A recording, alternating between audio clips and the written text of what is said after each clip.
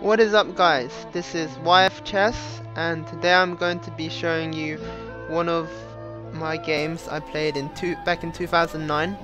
It was the World Under 16 Olympiad. I was top board for England and we were paired against Armenia. And my opponent was Ter Sahakyan Samvel. Samvel Ter Sahakyan. Uh, he was a GM at the time, very young GM, and he's almost 2600 now and I'm sure he's going to be much stronger in the future.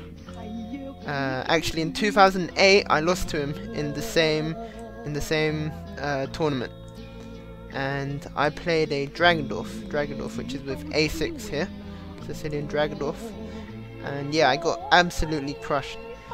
Uh, so I knew I knew he was probably expecting that and prepared against it so I deviated and played something different.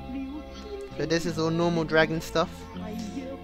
And actually, I have a confession. I don't I don't really know that much fairy in the mainline dragon, and I was pretty sure he he would uh, he would know the fairy really well here.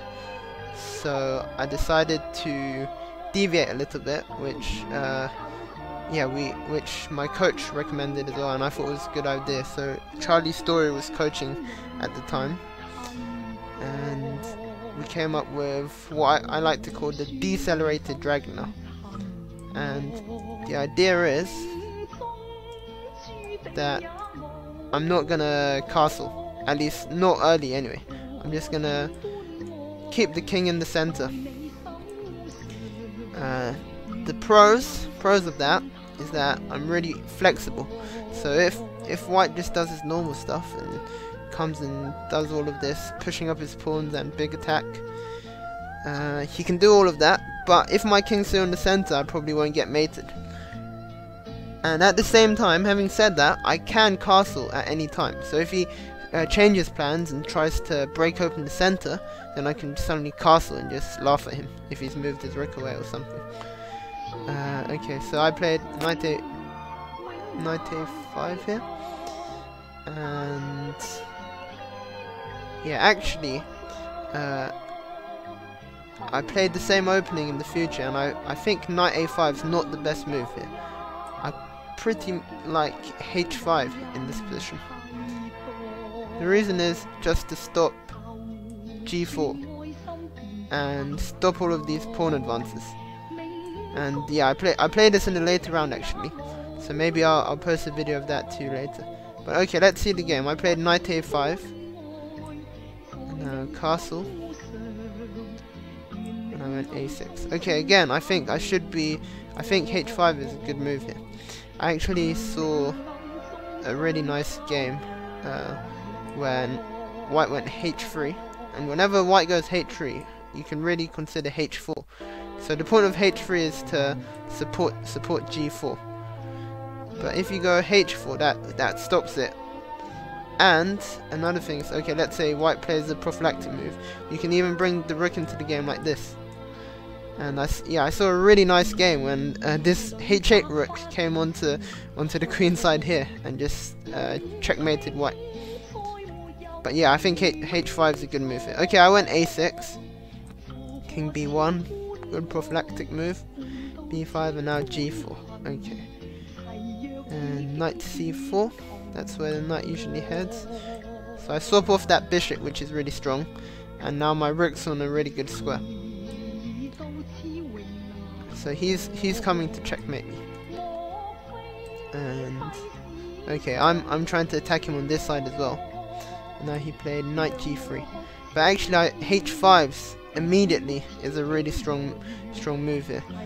Um, like I said, I'm I'm not gonna be checkmated, but he's probably gonna be able to get this in and then I have to I have to come back like this which is pretty good for him. I can switch plans and play like a Najdorf with e5 but again it's it's quite good for him this position. Uh, the reason I say knight g3 isn't so good as the immediate h5 is because after knight g3 I played a good move here. I went h5 myself. And that that stops him from going h5 h6 the downside of h5 is that he can completely cut out my knight. So now my knight's in a really bad position. It's not it's not doing anything useful at all. And yeah, I have to try and bring it into the game later. Okay, so he comes he comes with his pawns rolling. He wants he really wants to checkmate me.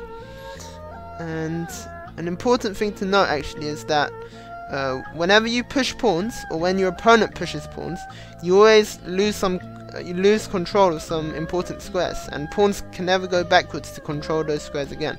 So here the pawn is controlling these two squares and f4 which is decent move here he's obviously he's gonna go f5 but if you look at it he's lost control of this square and this square which I'm gonna really try and take advantage of. So remember, remember, whenever you're moving pawns or whenever your opponent moves pawns, look at the squares they've lost control of. So, for example, here immediately I took use of that g4 square by going bishop g4. It's a nice, nice square for my bishop. At least much better than d7. d7 it wasn't doing that much. And I'm attacking the rook, so he went rook c1. And yeah, now now I decided to castle because I'm not going to checkmate him with my just my rook and two pawns. I need to bring in my big big boys as well. Okay, he kept going f4, f5, and yeah, here again actually, uh, he lost control of this square, so I took use of that with bishop e5. But the play play's been pretty good up to this point, and now he made a an inaccuracy. He went knight knight back to e2. And in this position, it was really important for him to play this this move. This is a sneaky move, Queen d3. It's so he's ignoring my threat by placing his own threat. Sometimes the the best defense is attack.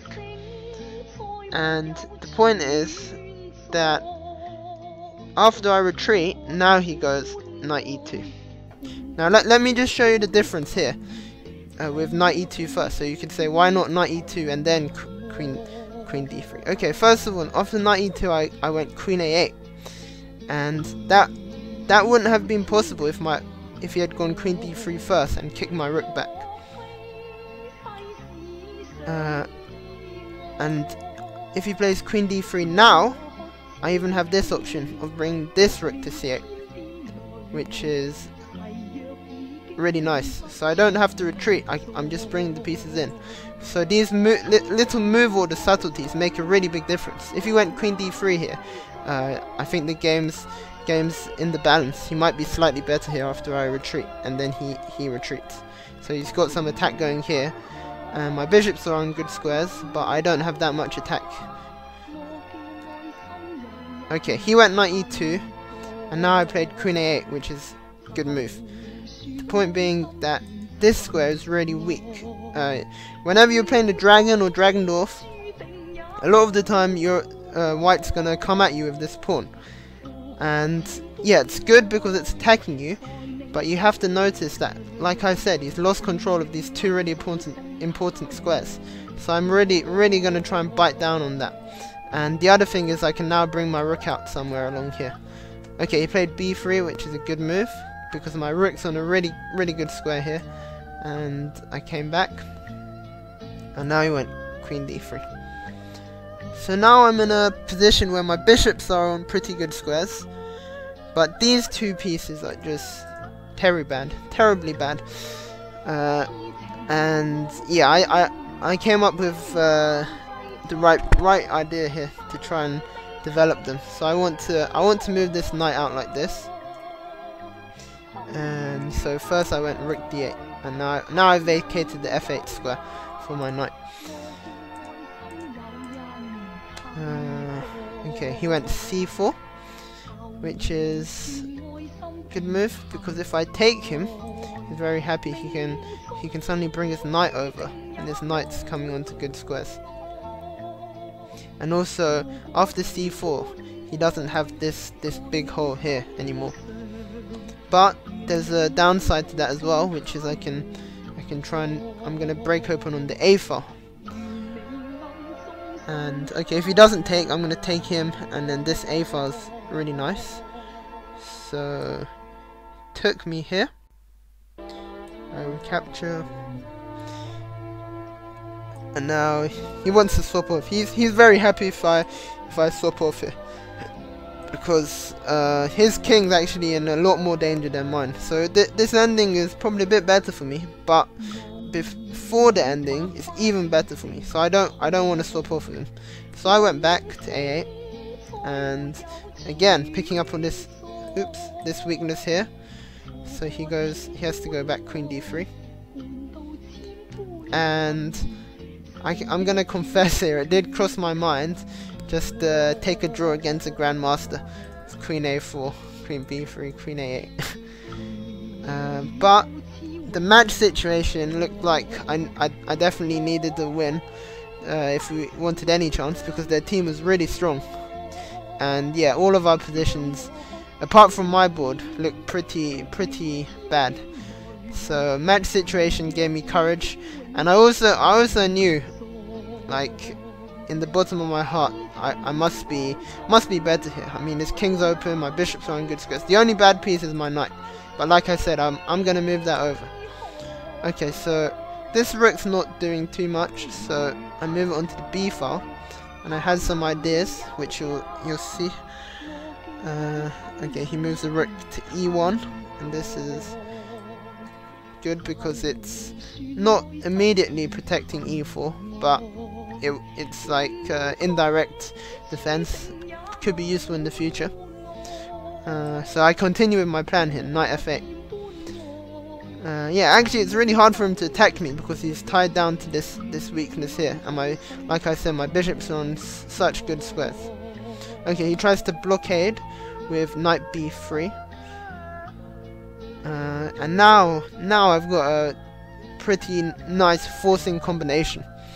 So if, if you want to have a go, you can pause the video now and see if you can find a good continuation for black. I went bishop f3. And this is forcing because he has to defend defend e4.